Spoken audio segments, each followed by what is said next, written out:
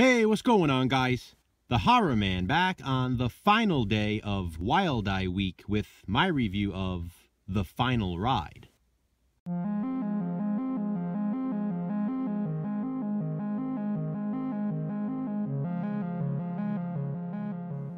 It's the final ride for the final day of Wild Eye Week. The Final Ride is a 2019 horror anthology film produced, written, directed, and edited by Mike McCurran. He was also responsible for the 2015 Christmas slasher film Secret Santa. I reviewed that one on Wild Eye Wednesday during the 12 Days of Christmas in 2020. And just like Secret Santa, Wild Eye Releasing distributed this DVD of The Final Ride. If you've seen Secret Santa, then you'll recognize a lot of faces in this movie. The two films share a lot of the same cast. I originally picked The Final Ride for the final day of Wild Eye Week because of the title. It turns out, though, this was a great way to end it. I'm a huge fan of horror anthology films as it is, but this one was awesome. The cover alone had me intrigued. I mentioned when I first got this DVD that the cover reminds me of Twisted Metal, that old video game for PlayStation. And although nothing quite like this pictured here on the cover actually happens in the movie, it's still really cool. The final ride follows a rideshare driver named Jean. She's basically an Uber driver. She picks up random passengers throughout the day and night. Some of these passengers end up being the characters in the segments of this anthology. The first segment is about a young married couple named Peter and Monica. The two have just purchased their first home together. It seems like the perfect house on the perfect street in the perfect neighborhood. Upon exploring the basement when they first move in, Peter discovers a box of old VHS tapes hidden behind the furnace. Peter is eager to watch them, hoping they'll be retro sex tapes. It turns out instead they are vintage workout tapes featuring a fitness guru named Jimmy. After watching tape after tape, Peter begins to act differently. He becomes sort of obsessed with working out. His attitude toward Monica changes as well. He becomes very stern. It is soon revealed that the realtor kept a dark secret from the young couple. A dark secret that may even be deadly. If you're a fan of horror anthologies like I am, then you'll probably agree with what I'm about to say. In many, I feel like there are certain segments that really stand out, that stick with you long after watching them. The Raft in Creepshow 2, for example, is one for me.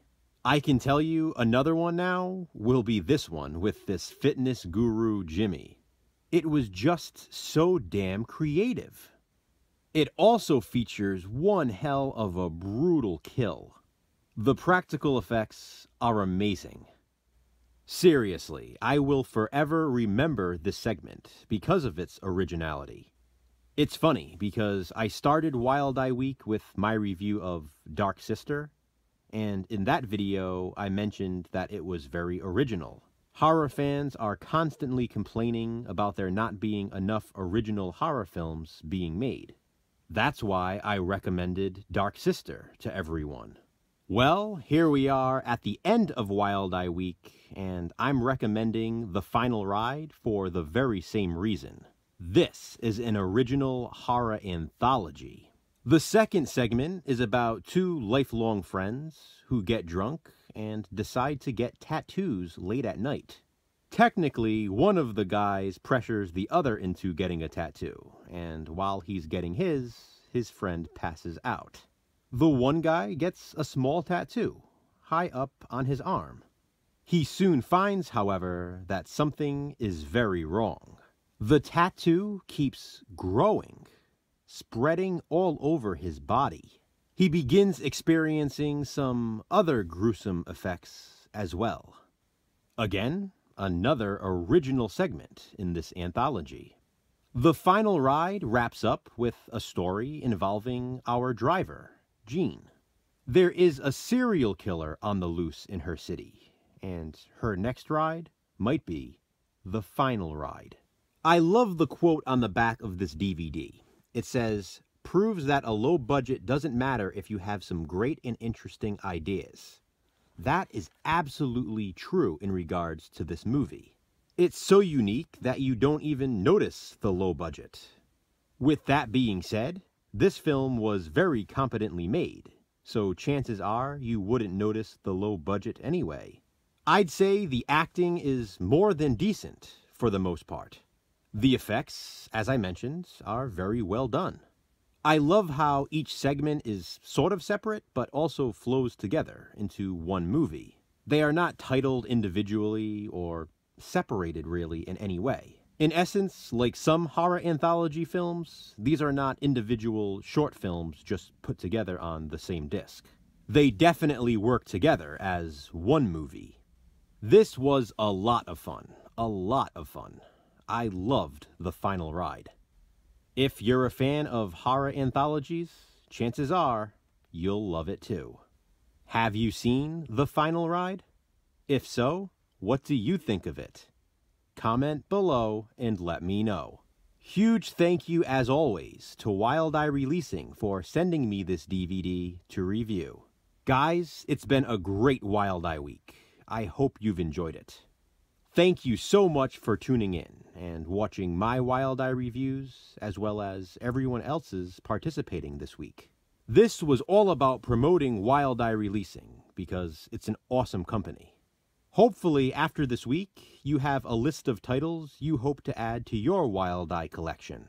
And don't forget, just because Wild Eye Week is over doesn't mean the Wild Eye reviews will stop.